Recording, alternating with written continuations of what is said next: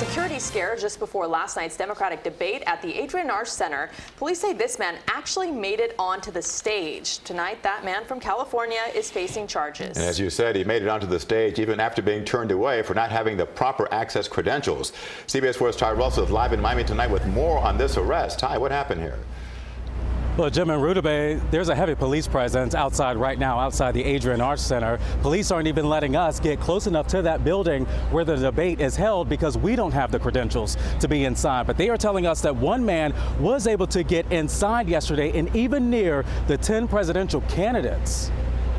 Hello, Mr. Ogg. How are you? Good, sir. How are you? 30 year old Austin Ogg, who's from California, appeared before a judge in Miami Dade Thursday. Did you come independently? Just independently, sir. Ogg is accused of going on to the Democratic primary debate stage Wednesday night around 7:30. Police say presidential candidates were already on stage, and before Ogg could speak, he was pulled off by security. Today, a judge tried to narrow down a motive. Did you come in just for the debates? Your, Your Honor, I wouldn't would ask that you not ask that question. Well, he's Advise him not to respond. He doesn't have to answer it, but I want to make sure that there's no threat or concern on this. Today, near the Adrienne Arsht Center, police once again closed off a stretch of Biscayne Boulevard just north of the 836 Dolphin Expressway. They have barricades, multiple cruisers, and many officers on standby for protests. But investigators say Ogg only talked to security. Coming all the way from California is a little more interesting to me as well.